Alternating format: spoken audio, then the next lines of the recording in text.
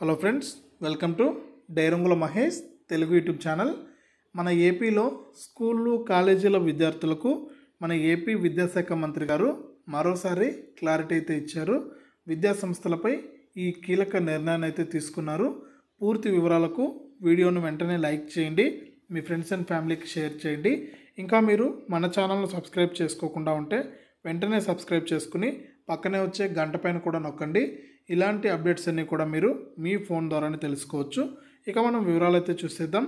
మన ఏపీ రాష్ట్ర వ్యాప్తంగా మరోసారి విద్యా సంస్థలపై మన ఏపీ విద్యాశాఖ మంత్రి గారు క్లారిటీ అయితే ఇచ్చారు. ఇక మనం దానికి సంబంధించి ఒక నోటిఫికేషన్ కూడా రావడం జరిగింది. ఆ నోటిఫికేషన్ కూడా చూపిస్తాను. మిగిలిన విషయాల తర్వాత అయితే మాట్లాడదాం. ఇక్కడ మీరు చూడొచ్చు. మ్యాపింగ్ సంపూర్ణం జిల్లాలో మూడు నాలుగు ఐదు తరగతులను ఉన్నత పాఠశాలలో విలీనం చేయడానికి సంబంధించిన మ్యాపింగ్ ప్రక్రియ పూర్తయింది.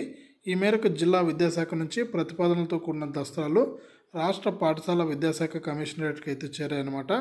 మనకు ఏదైతే ఇది మెయిన్ ఉద్దేశం ఏంటంటే ప్రభుత్వానికి విలీన ప్రతిపాదనలు అయితే సిద్ధం చేశారనమాట ఏవైతే మూడు కిలోమీటర్ల లోపు ఉన్నటువంటి స్కూళ్ళను పా ప్రాథమిక పాఠశాలలన్నింటినీ కూడా మూడు నాలుగు ఐదు తరగతులను హై స్కూల్లో అయితే విలీనం చేస్తున్నారనమాట ఓన్లీ ప్రాథమిక పాఠశాలలో ఒకటి రెండు తరగతుల పిల్లలు మాత్రమే ఉంటారు.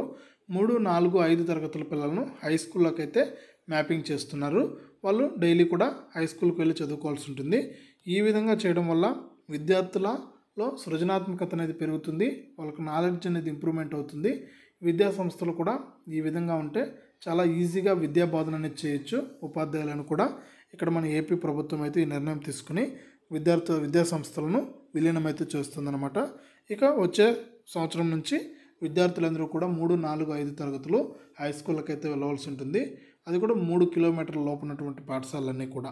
ఇది తాజాగా విద్యాశాఖ మంత్రి విద్యా సంస్థలపై నిర్ణయం తీసుకు విద్యా సంస్థలపై తీసుకున్నటువంటి కీలక నిర్ణయం. వీడియోను లైక్ చేయండి షేర్ చేయండి. మన ఛానల్ని సబ్స్క్రైబ్ చేసుకుని ఫాలో అవ్వండి.